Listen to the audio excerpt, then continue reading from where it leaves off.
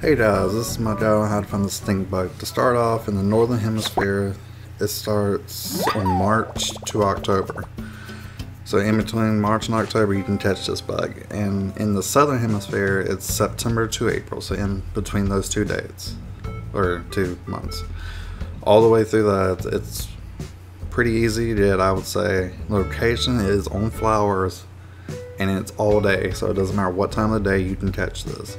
And the price of it's 120, and at night it's around 100. So I hope this guide helps you out.